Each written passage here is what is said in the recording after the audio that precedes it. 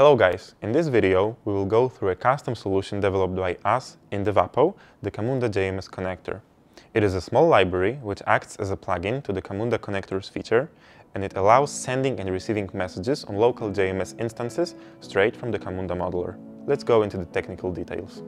The connector itself contains two modules the publisher, responsible for enqueuing messages, and the listener, responsible for dequeuing messages and creating a message correlation in the engine. The first thing that you need to do is to include the connector library in your project. Once it's there, some manual customization has to be done. For instance, you need to point to the particular Java message service that you want to connect with, and for this purpose just follow the steps included in the README. In this tutorial, we will showcase the logic behind the JMS connector on a simple example we will model one process that will enqueue a custom message on a local ActiveMQ instance. This part will be handled by the publisher. There will also be a second process that will be triggered upon a specific message correlation.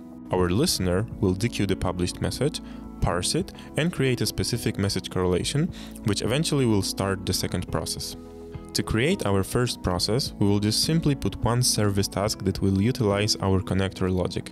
All it takes is to pass a particular connector ID and following that a few input parameters.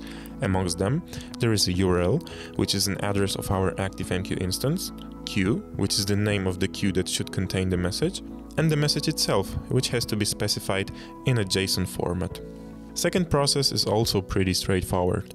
It is triggered upon a specific message and it contains one human task so we can easily verify that it has launched. To start with, let's run a local ActiveMQ instance. I highly recommend going for a Docker container edition, but of course anything else will work just fine.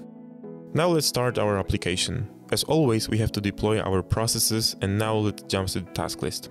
From there, let's start the first process which should enqueue a message on our local ActiveMQ instance. If we go back to the cockpit, you can see that indeed another process instance was started.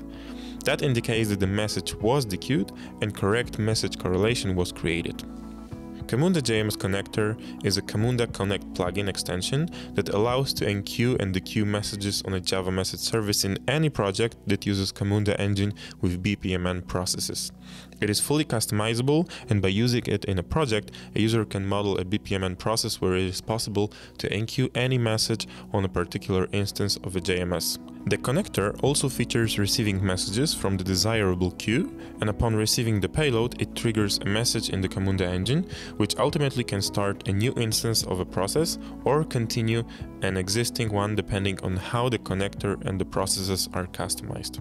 This approach is a popular one if you are using a Camunda Platform 7. With the new version of Camunda, this approach is slightly different, but we will showcase how to migrate the solution to the version 8 in another video.